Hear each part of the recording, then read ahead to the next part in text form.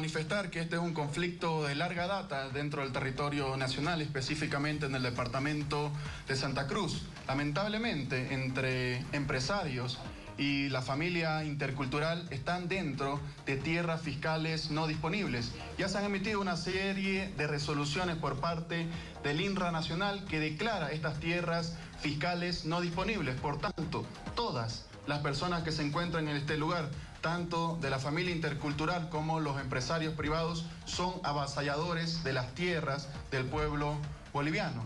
Lamentablemente, el día de ayer uno de los empresarios acarreó gente en el lugar, grupos armados, grupos violentos, y disparó sin discreción, sin pensando en la vida de humanos que se encontraban en el lugar y lamentablemente tenemos un par de heridos que están lamentablemente hospitalizados y dos personas han perdido la vida. La forma de solucionar nuestros conflictos no es con la violencia y como gobierno nacional queremos manifestar que seguiremos luchando contra los avasallamientos, vengan de donde vengan como lo hemos venido haciendo de manera mancomunada y coordinada con todas y cada una de las instituciones, tanto públicas como privadas. Hace un par de meses teníamos reuniones con la CAO, con campesinos, con interculturales, con mujeres, con predios pequeños, grandes y medianos. Si trabajamos todos de manera conjunta, podremos sacar a los avasalladores y traficantes de tierras, de tierras que le pertenecen no a una persona, sino a todo el pueblo boliviano en su conjunto. Ministro, por favor, por favor, en relación al mismo tema, ¿cómo se va a garantizar la seguridad jurídica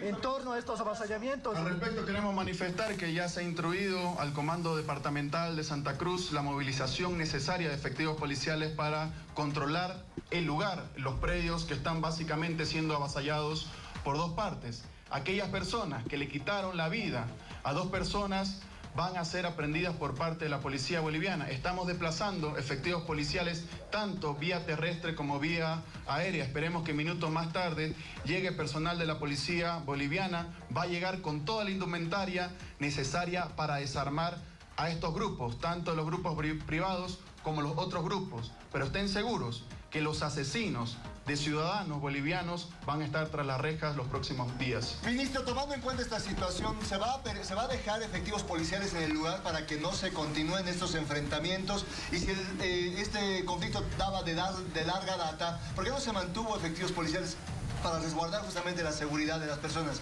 en ese lugar?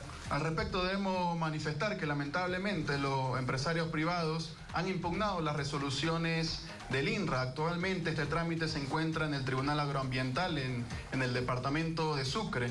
Les pedimos públicamente al Tribunal Agroambiental que de una vez resuelva este conflicto y podamos tener una certeza jurídica de a quienes realmente les pertenece esta tierra. De acuerdo a los informes primarios, son tierras que les pertenece a todo el pueblo boliviano, no a empresarios, no a interculturales, sino al pueblo boliviano en todo su conjunto. Ministro, por favor, dentro del caso de Santa Cruz, de una ciudadana extranjera de nacionalidad paraguaya. Ahí escuchábamos al ministro de Gobierno que se refiere al conflicto, a los avasallamientos.